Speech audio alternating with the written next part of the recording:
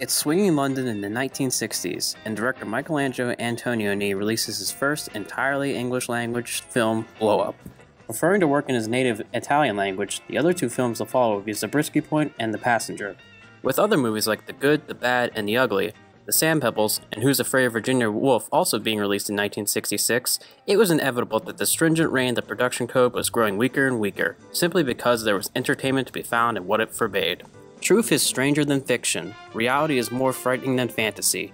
These sort of mentalities made viewers want the cinema to be more daring, and they certainly proved this, as the film made over 11 times its budget at the box office.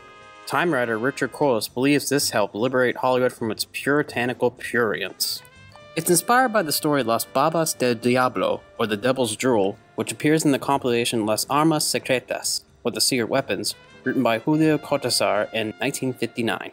The film starts downtown with what looks like Tim Burton's remake of the Keystone Cops, who certainly stand out like sore thumbs from the civil people heading to and from their jobs. One of them is our star, who is based off of English photographer David Bailey, and played by David Hemmings, confusingly enough.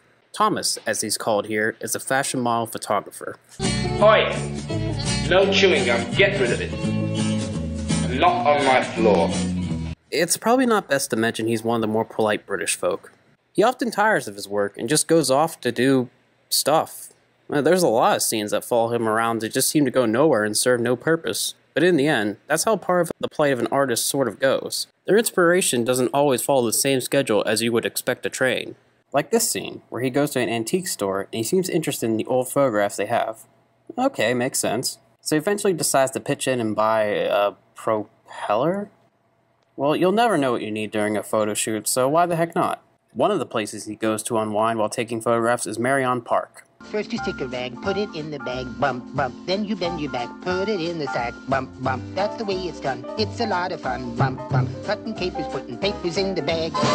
One sight that catches his eye is a man and a woman running off together. Naturally, when the woman spots Thomas, she is infuriated by his eavesdropping. This is the leading lady, Jane, played by Vanessa Redgrave. This is a public place. Everyone has the right to be left in peace. My lawyers are going to have a field day with this. Entrapment, jurisdictional conflict. Maybe we'll just leave the courts out of this one. For whatever reason, she really wants the photos he took and will go to seemingly strange lengths to get them. He eventually does take the time to develop them, and here we see that the phrase blow up refers to the enlarging process, rather than some other expected variant. However, he can't help but feel something peculiar about the photographs. Upon further inspection, it looks as if he involuntarily witnessed or prevented a murder. If so, who is the culprit, and how and when did the events carry out? It's hard to say exactly what happened in reality. The film leaves it rather ambiguous, and there's no direct addressing of who the hero is or who the villain is, or if there are any of either at all.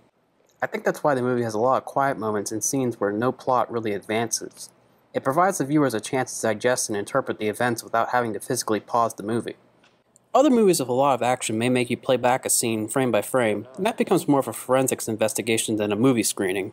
Fittingly enough, Blow Up may make you feel like a detective yourself, so I'm certainly glad I watched it and gave this experiment a shot of my own.